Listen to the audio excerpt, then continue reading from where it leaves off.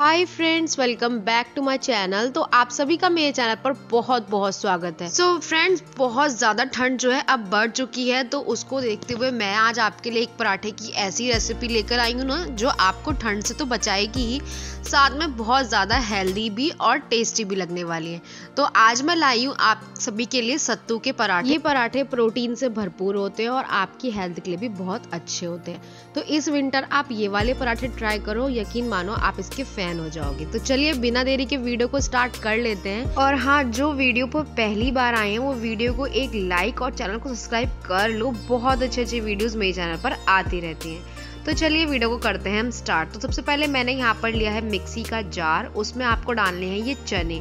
अब आप चाहें तो बाज़ार में रेडीमेड सत्तू भी मिलता है और ये चने भी मिलते हैं। तो मैं तो मोस्टली इन चनों को लाकर पीस कर तभी पराठे बनाना पसंद करती हूँ, क्योंकि मुझे वो ज़्यादा बेस्ट लगता है। मैंने यहाँ पर इसका एक फाइन पाउडर बनाकर जो है तैयार कर लिया है। ये फाइन पाउडर आप चाहें तो थोड़ा सा दरदरा या फिर बिल्कुल फाइन पाउडर बना सकते हैं, ये टोटली आपके हाथ में है। उसके बाद इसे पीसने के बाद हमें इसको रखना है साइड पर यहाँ पर मैंने बिना छिलकों को उतारे इसको पीसा है।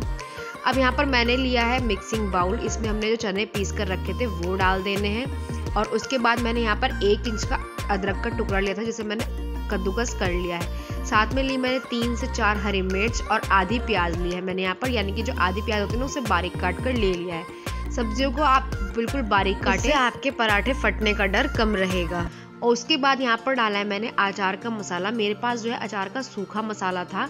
आपके पास वो गीले वाला अचार जो होता है, जिसमें रस वगैरह यानी कि जिसमें ऑयल रखते हैं, वो वाला हो तो आप वो भी डाल सकते हैं। क्योंकि इसमें जो अचार में जो बहुत सारे मसाला डालते हैं ना, उसका फ्लेवर जो इसमें आता है ना, इस सत्तू के पराठों में, वो बहुत ही ज़्यादा टेस्टी लगता है। उसके बाद डाला मैंने स्वाद अनुसार नमक, धनिया पाउडर, मिर्ची पाउडर।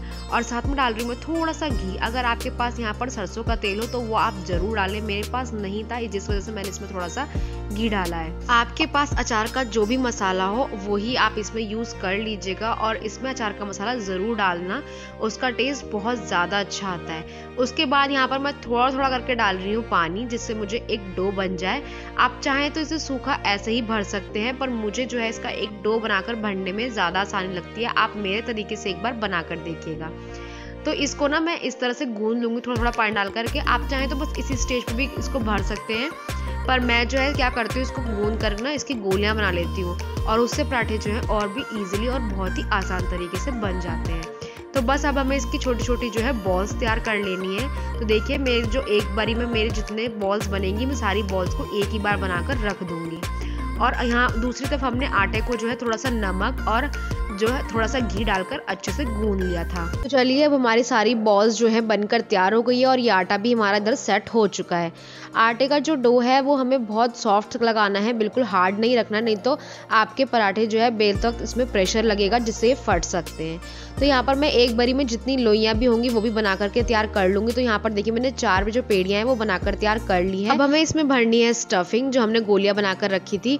तो पहले मैंने यहाँ पर थोड़ा सा सूखा आटा डस्ट किया है, उसके बाद मैं इसको किनारे को पतला करते हुए चले जाऊँगी हाथों से। तो हमें इसको एक कटोरी शेप दे देनी है। इस तरह से साइड्स को देखिए, मैंने कितने अच्छे से पतला कर दिया और बीच में मैंने इस तरह से मोटा ही आटा छोड़ दिया है। अब यहाँ पर जो है हमने आटे की गोली जो बनाकर रखी थी, उसको बीच में रखना है और इस तरह से उंगलियों की मदद से इसको लॉक करते हुए चले जाना है। अब यहाँ पर इसको लॉक करने के हमारे पास दो तरीके हैं। जो भी ये आटा देख रहे हैं ना, आप ऊपर इसे आप चाहें तो निकाल कर हटा सकते हैं या तो फिर राउंड कर कर इसी में अंदर प्रेस करके दबा सकते हैं। तो मैंने यहाँ पर आटा नहीं निकाला है, मैं इसको ऐसे करके अब इसे बेलूँगी। तो बेलने के लिए आपको बहुत हल्के हाथों का इस्तेमाल करना है, बहुत ज़्यादा इसको प्रेशर दे के नहीं बेलना है। तो किसी भी पराठे को आप बेलें तो उसमें प्रेशर ना लगाएँ, उसमें हल्के हाथों से उसको बेलें। तो यहाँ पर जो है, पहले मैं अपना पराठा बेल करके तैयार कर लेती हूँ। तो देखिए, मेरा एक पराठा इस तरह से बेल करके तैयार है। चलिए, अब इसको सेकने के प्रोसेस पे चलते हैं। तो तवे को मैंने यहाँ पर प्री हीट करके रख लिया था, उसके बाद मैंने डाला उस पर ये पराठा। अब इस पराठे को हमें अलट पलट कर अच्छे से सेक लेना है। जैसे इसमें एक तरफ़ से गोल्डन कलर आना स्टार्ट हो जाए तो हमें इसमें तेल लगाना है। अब यहाँ पर पराठे को जो है आपको मीडियम फ्लेम पर ही कुक करना है। अगर आप इसे स्लो फ्लेम पे कुक करेंगे तो ये थोड़ा सा हार्ड हो जाएगा। और अगर आप इसे हाई फ्लेम पे कुक करेंगे तो ये ऊपर से पक जाएगा और अंदर से कच्चा रह सकता है। तो इसके लिए आपको इसमें मीडियम फ्लेम का इस्तेमाल करना है। तो देखिए, मेरा जो पराठा है वो एक तरफ़ से गोल्डन कलर उस पर आ गया था और दूसरी तरफ़ भी आ गया था। तो मैंने दोनों तरफ़ जो है इसको अच्छे से तेल लगा लिया। अब यहाँ पर आप ऑयल बटर घी जो भी खाते हो, आप वो इस्तेमाल कर लेना और इसको अच्छे से गोल्डन ब्राउन होने तक सेक लेना। तो आप आपको ये रेसिपी कैसी लगी मुझे कमेंट करके ज़रूर बताइएगा। और अगर आप इसे बच्चों के टिफ़िन में बना कर देंगे ना तो वो बहुत ज़्यादा खुश रहेंगे और हाई प्रोटीन तो ये है ही। तो, तो जिनको पराठे पसंद है सर्दियों में और वो हेल्दी भी खाना चाहते हैं तो ये वाली रेसिपी आप ज़रूर ट्राई कर लेना आपको बहुत ज़्यादा अच्छी बहुत ही ज़्यादा अच्छा रहेगा तो देखिए मेरा इसी तरह से एक पराठा जो है बन के बिल्कुल तैयार है और इसी तरह से मैं अपने बाकी के पराठों को भी सेक लूँगी। तो आई होप आपको ये वीडियो बहुत ज़्यादा पसंद आया होगा। तो इसी तरह की वीडियो देखने मेरे चैनल को सब्सक्राइब कर लो और बहुत इंटरेस्टिंग वीडियोस मेरे चैनल पर आती रहती है और बहुत इंटरेस्टिंग वीडियोस मेरे चैनल पर आएँगी। तो मेरे चैनल पर बहुत सारे पराठों की वीडियो अपलोडेड है। आलू के पराठे दही के पराठे गोभी के पराठों। और गोभी के पराठों को इतना सारा प्यार देने के लिए आप सभी का बहुत बहुत शुक्रिया। और अगर आपको वीडियो थोड़ी सी भी पसंद आए ना तो प्लीज़ एक लाइक ज़रूर कर देना। आपकी लाइक से बहुत ज़्यादा मोटिवेशन मिलता है। तो चलिए देखिए फ्रेंड्स हमारा बाकी के पराठे भी बन करके तैयार हैं। कितने सुंदर मैंने इनको गोल्डन करके दोनों तरफ़ से सेक लिया है और ये काफ़ी अच्छे फूल भी रहे हैं। तो आप इस विंटर इसको ज़रूर बनाएँ एक पराठा जो है मैं आपको काट कर दिखा रही हूँ यहाँ पर कि इसमें कितनी अच्छी स्टफिंग फील हुई है। तो देखिए, ये कहीं से भी आपको खाली पराठा नहीं लगने वाला और ये मसालेदार और ये काफ़ी ज़्यादा टेस्टी भी लगेगा। चलिए मिलते हैं आपसे नेक्स्ट वीडियो में नई रेसिपी के साथ। तब तक के लिए बबाए और हाँ वीडियो को यहाँ तक देख लिया है तो थैंक्स फॉर वॉचिंग